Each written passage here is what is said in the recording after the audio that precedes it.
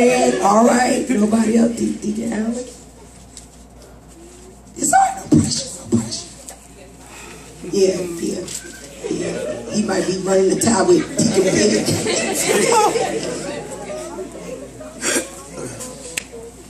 Hello, church. Amen. I um, I just want to first give honor to God and give honor to those that God has placed in my life for such a time as this.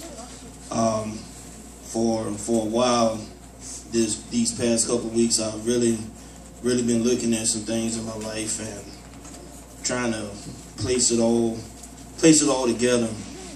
Um, a while ago, a good while ago, me and my mom had um, a conversation, and she was explaining some things to me, and I started getting in my flesh because I didn't understand it. But once I got into the spirit, I understood what it was because I wasn't supposed to be here, according to that conversation that me and my mom had.